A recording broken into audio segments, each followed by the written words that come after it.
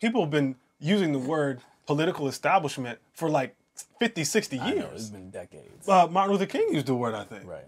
But Bernie Sanders is um, he's doing too much by using the word, and he's suggesting something that he's actually not suggesting, but people are saying that he is. So anyway, um, just this is just a, a short clip. This is a clip from CNN because Bernie Sanders did use the word saying that how we're fighting against the establishment, and then Biden had a response. Joe is running a campaign which is obviously heavily supported by the corporate establishment.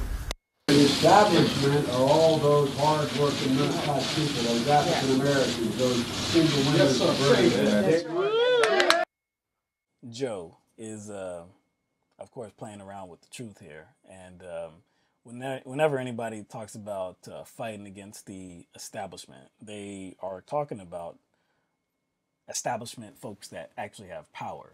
So we're talking about the corporate media who has a vast amount of power. We're talking about politicians who have a vast amount of power. We're talking about Super delegates. yes, super delegates who have a vast amount of bill- unelected power. The billionaires that fund his campaign. Yes, lobbyists. That, that- that's what we're talking about with when, when, when anybody's talking about the establishment. That's what they're talking about. They're not talking about voters. Symone Sanders, who is uh, on the Joe Biden team, um, one of his advisors, one of his senior advisors, uh, she took this, took this call or took this pushback from Joe Biden, and she responded.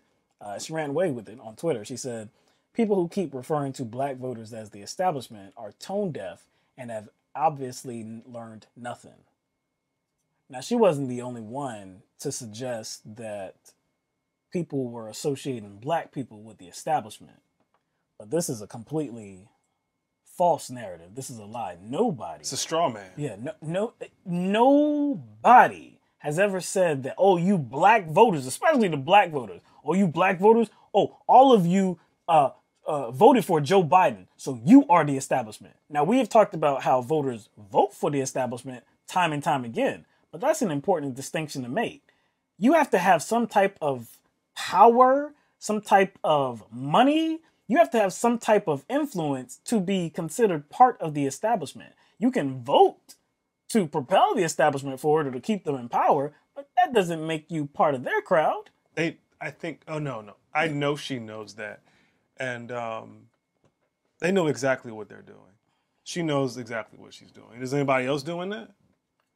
There's a lot of people There's a lot of people doing that. Yeah. Like, and it's not just white moderates. It's black moderate liberals who are doing this too. Yes. Um, and it's it's it's quite to me it's quite heinous because they're using black people as a shield to protect the wealthy donor class. Yep, that's That's exactly that's what why it's so that's why it's so egregious. disgusting. Um, uh, Bernie Sanders, because you played that clip Yeah. from um, you played that clip from uh, uh, Joe Biden, Mm-hmm. and uh, Bernie Sanders he responded to it on Twitter. Yeah, he said, uh, "No, Joe. The establishment are the 60 billionaires who are funding your campaign and the corporate-funded super PACs that are spending millions on negative attack ads attacking me. We know that to be like the, the the the whole notion that we have to explain ourselves, so that Bernie Sanders has to explain what he's talking about with establishment. He didn't invent the term. He didn't invent what the term meant whatsoever." on CNN, Chris Cuomo, he was speaking with uh, Alexandria Ocasio Cortez, who is, uh, uh, of course, uh, a new uh, congresswoman. Not so new anymore. I mean, coming to the end of her term, uh, running for re-election, of course. But she is a um, uh, fierce supporter of um, Bernie Sanders, and uh, this subject came up about the use of the word establishment. Uh, the use of the word establishment, okay? I think the case can be made that you lost to Democrats last night, not the establishment. There are too many different demographics that came to play on Biden's side. You can't dismiss them all as part of the problem. So you are injecting a progressivism into a party that is mostly center left. First, let's talk about the language. Do you have to be careful about establishment because you make people feel like African Americans, like all of a sudden they're part of the problem? Well, I do think that there's a kind of a disingenuous um, com- conflating of what we mean. Uh, the fact of the matter remains that Bernie Sanders is now the only frontrunner in this in this race that does not take corporate lobbyist money. He does not take money from health insurance health insurance executives. He does not take money from fossil fuel lobbyists, and he does not have closed door. Um, he does not have closed door fundraisers with elites, and uh, and I think that that is an important distinction. Now, if you voted, um, if you did not vote for Senator Sanders last night, that doesn't mean you're part of the establishment. And I think every American knows that Washington has there's a very strong grip of special interests in Washington. Bernie Sanders has a unique integrity. He is not bought and he has zero uh, corporate lobbyist money financing his campaign. You think That Biden is- is bought? I think that there's a there are real issues with um, where where campaign money comes from, and I think it's not um, it's not a secret. This is how many of the if even swing district members won their races in 2018 because they do not take corporate PAC money. There are some that are very progressive. There are some that are very conservative. But one of the through lines that we saw in 2018 was that if you won your race, you likely did not take corporate PAC money. It is a huge trust issue with voters, and I think that Bernie Sanders has that trust. What he says, he will do everything he can to deliver. That wouldn't have been me. And I, right, I think it's about that time because we talked about it before Super Tuesday. Yeah. Um, I asked the question about money in politics. If money in politics corrupts, who is it corrupting? Who is it corrupting? Nobody seems to ask that follow up question. but as far as like, because the overall narrative surrounding his questioning and uh, Biden's uh, distortion of the term uh, establishment surrounds it, it, it, it surrounds black voters, right? Surrounds black voters. That's the question, and I, I I'm personally not going to involve myself in coddling black people, especially older black people, because there's this respect your elders. Um, it's complicated for uh, you know older black voters type of talk, especially especially after Super Tuesday. But last time I checked, black people are human.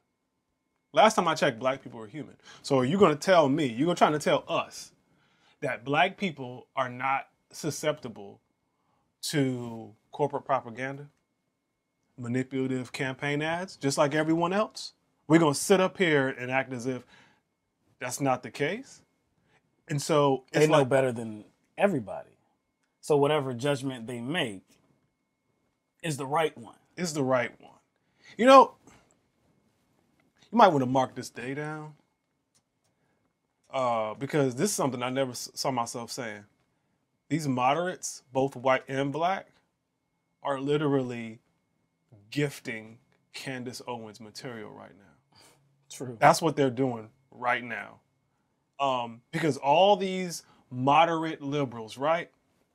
When time comes, and it will come, when the conversation about black Republicans or black conservative Republicans come up and how they vote against their own interest, these these moderates, they won't coddle those those people. They won't.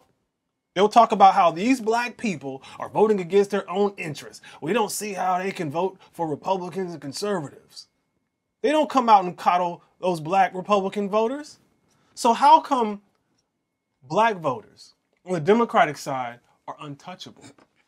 Can you explain that to me, Will? Simply because they're black, they're untouchable. Like I don't, I don't like when it comes to voting against your own interests, are we going to act like people, black people who vote for Democrats, are not doing the same thing? I, I don't have any um, problem condemning black people. Just, I mean, like you said, they're human. White people, black people, Asian, uh, Latinx, uh, it, it doesn't matter. Like you said, they're all susceptible to the same things, the same messaging, the same billions of dollars and propaganda, all of this stuff, right? Chris Cuomo said that the use of the term establishment makes black people feel like they are part of the problem. Guess what? Guess what? Guess what? They are part of the Yeah, problem. uh-huh. they are Yeah. exactly a part of the problem. Just like white people are a part of the problem. Just like Asian Americans part of the problem. Everybody is a part of the problem. You, by choosing to propel and to keep in place this apparatus, this this this this this power machine of greed, By choosing to keep that in place, guess what you're doing? You're writing your own ticket to stay exactly where the hell you are right now. And just because you don't realize you're doing it, Exactly. doesn't matter. No, no, no. It- you know what matters though is your fault. It is definitely your fault. Now we can choose to believe that these are low information voters. We can choose to believe that they're not low information. They're actually receiving a lot of information, but they're choosing to go in the way of the establishment because of whatever, wh- wh- whatever. It doesn't matter to me like what their motivation is if you're a regular person in this country, and that means when I say regular person, I mean that you're not part of the 1% or the top 2%. I mean, you are living paycheck to paycheck just like the rest of us. You are struggling to make ends meet. You may have two jobs. You may be struggling to pay for education for your kids or food to put on the table or clothes or a car or damn healthcare. Whatever the case, you're struggling just like the rest of us, okay? if you are voting when the time comes, if you are voting for an individual, like Mike says, that says, yes, we can't, instead of an individual that says, we can do this, this, this, and all of this, all that I want to do is to raise the standard of living of regular people in this country. The top tier people have gotten everything they have asked for, everything that they have campaigned for and lobbied for for decades. It's time to rein that in some. If you see that, or if you don't see it, doesn't matter. If you vote for the establishment, it's your fault. So if that includes black people, so be it.